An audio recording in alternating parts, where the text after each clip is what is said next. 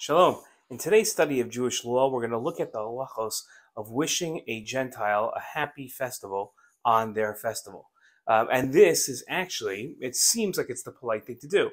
After all, our rabbis tell us that we should, we should, uh, when we see a Gentile, we should wish them peace and, and greet them uh, first before even they greet us. And we're supposed to be kind and give charity to Gentiles. So it's not like our rabbis had something against Gentiles.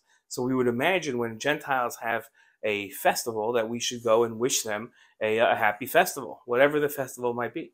Actually, that's incorrect. We're not allowed to to to wish them, let's say, a Merry Christmas or a Happy New Year's, because that is validating their festival. And validating their festival is validating some form either of idolatry, which is forbidden, or if even if their festival isn't idolatrous per se, it is creating a new religion, which is forbidden for a Gentile to do. So when we wish them a Merry Christmas or wish them a Happy Holidays or you know say I hope you you know enjoy the time with your family, the, the festival with your family, mention the family. So then that would actually be violating this prohibition, which is already found in the Mishnah.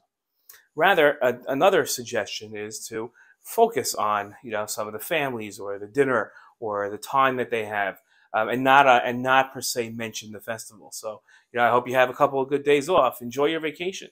Uh, you know, so um, along those lines. And if it's a text message, which would look awkward in that sense, so just write, you know, thinking of you on on uh, today when I don't get to see you or something of that nature. You can be creative about it.